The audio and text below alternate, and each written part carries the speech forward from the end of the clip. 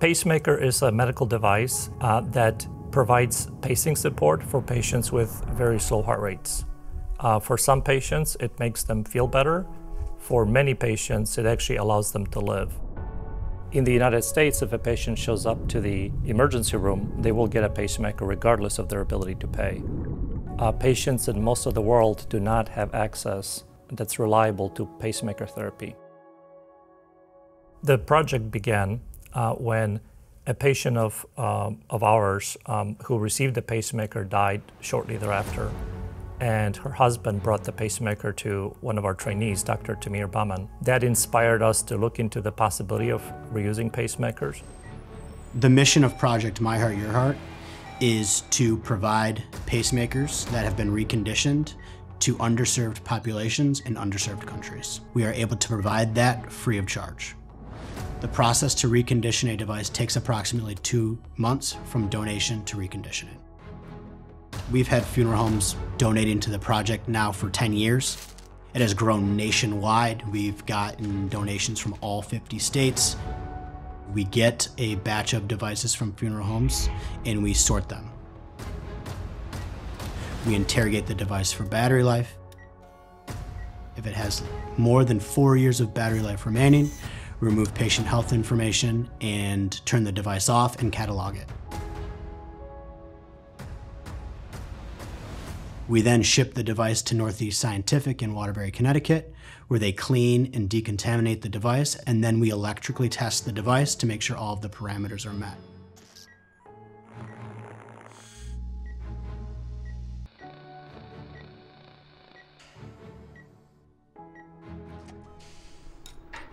This requires a lot of hard work and some tedious work, so it's a labor of love.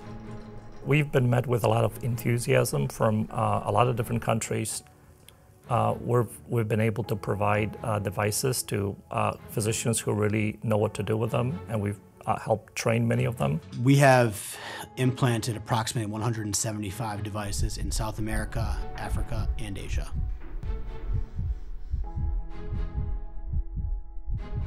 I want to thank the My Heart, Your Heart organization. Thank you, Pace for Life.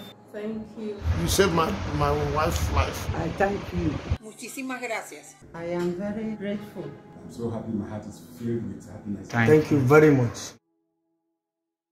When I see patients in follow up, uh, I see how uh, much better they can function. Many times, people who are not able to work are able to return back to work. Uh, many times patients who were having dizzy spells and were not even able to walk across the room are able to function uh, virtually normally. So in the beginning, if a patient requested a device or a family requested a device, we believed it was our ethical duty to provide them with one of our devices.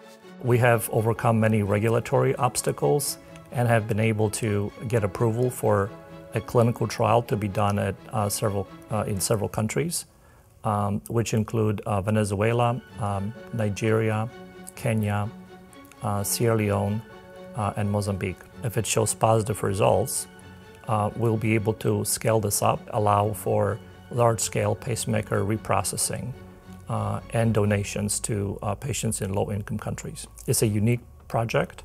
I don't believe that there's any other effort on this scale in the world that's trying to create a blueprint for how to safely uh, recondition pacemakers and offer them to patients at no cost uh, because otherwise those patients would not be able to get the devices.